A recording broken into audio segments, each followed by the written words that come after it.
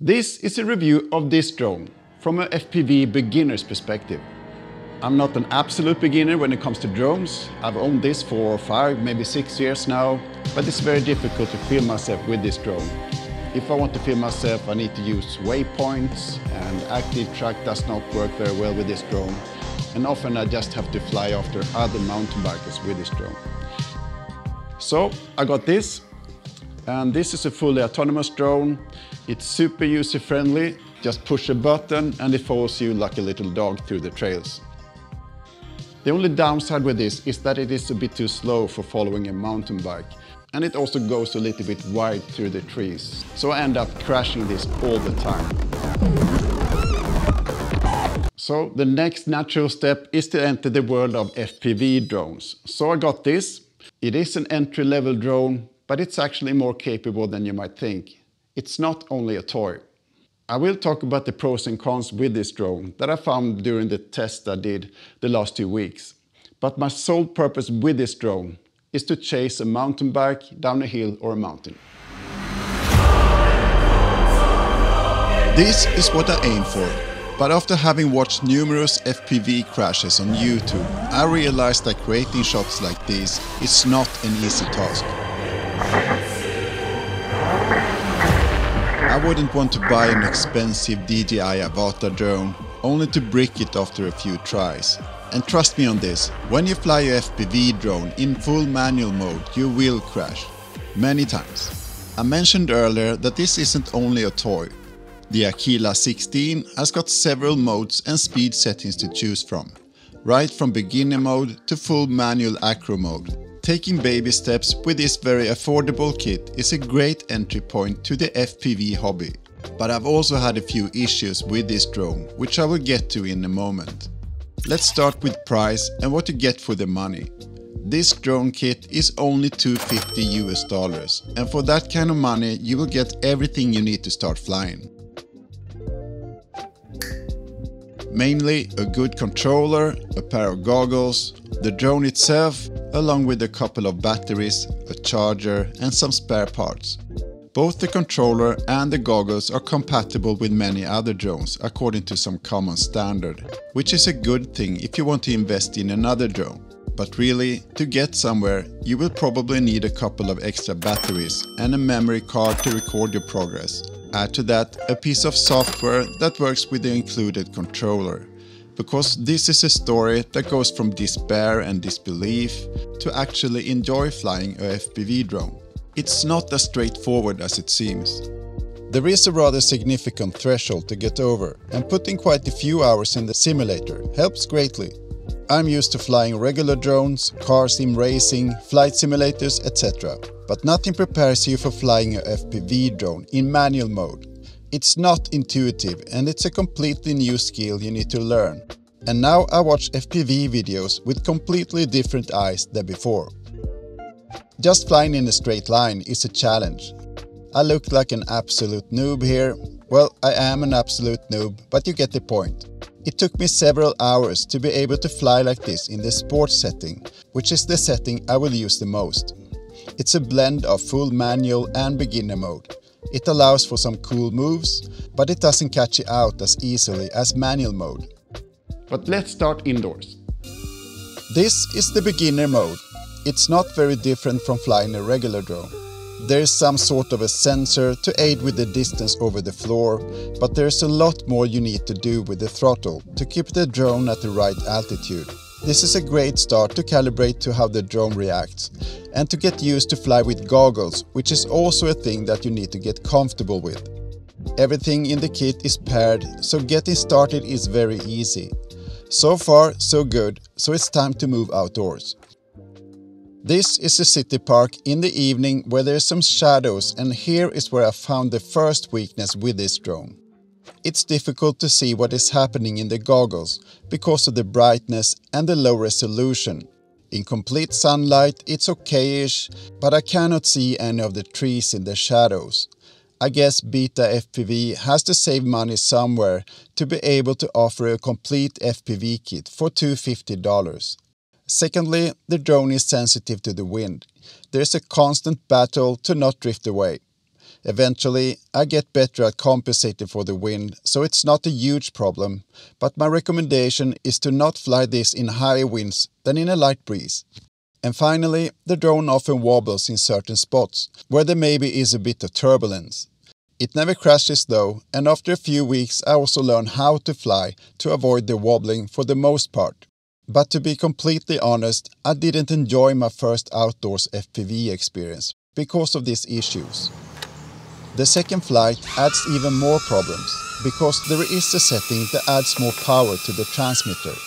It's set to 25 milliwatts as default, with 350 milliwatts as the highest setting, which means a stronger signal and better range.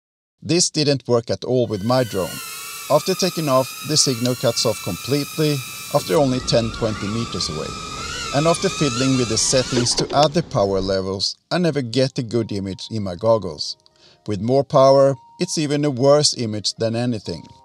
Lots of research and reaching out to Beta FPV, I finally bring out my screwdriver to perform some surgery. Apparently, the connectors can get loose after some crashes, along with various other problems. But to keep a long story short, my problem is this little wire. It's an antenna that transmits the image from the drone to the goggles. It was slightly bent and when I straighten it, the image is perfectly fine and I can finally use that 350 milliwatt setting. After all of this research and reading up on things, I started to realize that the FPV hobby is different from flying regular drones. Opening up the drone, mending broken parts, playing with different settings is part of the hobby. There's a lot more troubleshooting and fixing things, and there's also other software available to further tweak the flying characteristics and fine-tuning specific functions. I kind of get it now what the FPV hobby is about. Wiser and a somewhat better FPV pilot, I go to a mountain bike trail to further polish my skills. Here I only use the 25 milliwatt transmission setting but the image is fine anyway, even if I was over 100 meters away with the drone. Again, I'm fighting the winds and I struggle to follow the trail. This isn't easy. Having four batteries is almost a must, even if I bring a power bank to charge the batteries between the flights. Each battery is at around 1100 mAh, which is great because that gives me a flight time at around 6 to 8 minutes, and that's plenty in the FPV world. Charging takes around 30 minutes depending on how depleted the batteries are. You can't charge two batteries at the same time with the included charger. This is where I experienced another issue. At two occurrences, the drone disarms itself mid-flight and completely shut off. The recordings for these flights were only white noise, even if I could see an image in the goggles when flying. Weird. The second time this happens is over very tall grass and I spent over 15 minutes to try to find the little drone, even if it drops pretty close from where I stand. I really would want to have a find me function, a buzzer to locate the drone. Another weird thing happens when I'm close to the drone. The propellers suddenly spool up for a brief second and I can hear where the drone is. That's relief right there and from now on I'm very cautious where I fly. You're kidding me. I would never fly this over open water or even over a big field of tall grass. Learn from my mistake and stay over open ground where you can easily find the drone when you crash. Because again, you will crash. Anyway, this has never happened again and hopefully this was a weird one-off. After fixing that antenna issue, I've flown many times with absolutely zero issues with this drone. I'm more skilled I've learned to combat the wind and to mitigate those wobbles.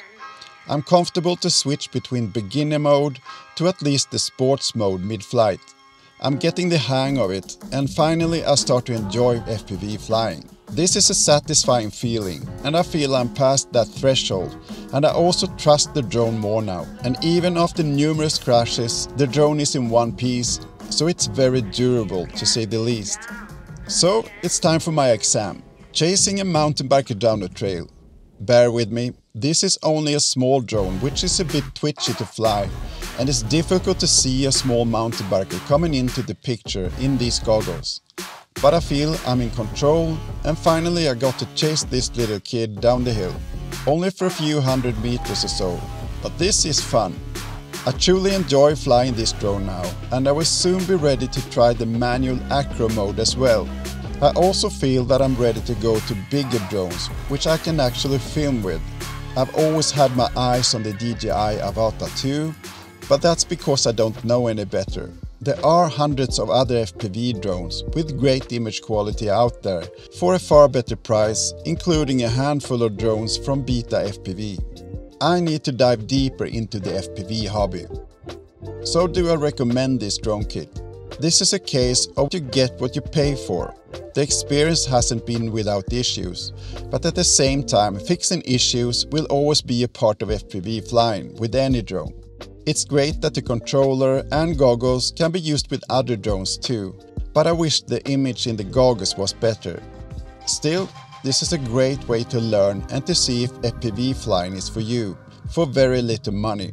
I will still fly this drone to practice my skills and that steep learning curve is actually kind of fun.